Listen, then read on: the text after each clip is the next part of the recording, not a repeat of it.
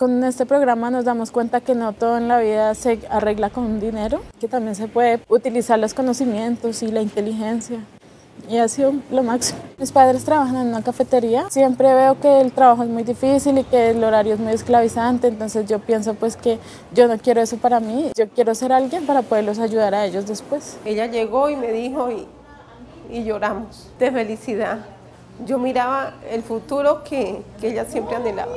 Yo dije, esta es la suerte de ella y de nosotros también porque yo espero que en un futuro ella se acuerde de nosotros.